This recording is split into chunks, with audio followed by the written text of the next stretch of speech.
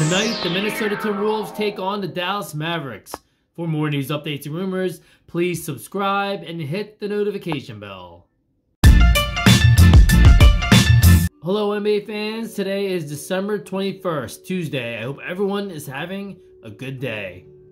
Tonight, the 15 and 15 Minnesota Timberwolves take on the 14 and 15 Dallas Mavericks.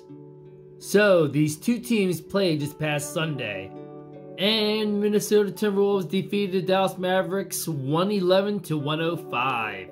In this game, Karl-Anthony Towns led the Timberwolves with 24 points, 7 rebounds, and 6 assists.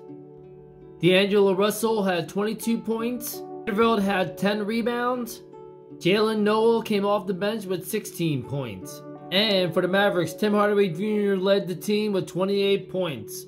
Finney Smith added 23 points. Brunson had 18 points and 11 assists. Maxi Kleber came off the bench with 14 rebounds. Dallas Mavericks are one and a half point favorites at home against the Minnesota Timberwolves. NBA fans, if you haven't subscribed, please hit the subscribe button for more news, updates, and rumors. Be sure to check out my other videos and other YouTube shorts, and I will see you next time.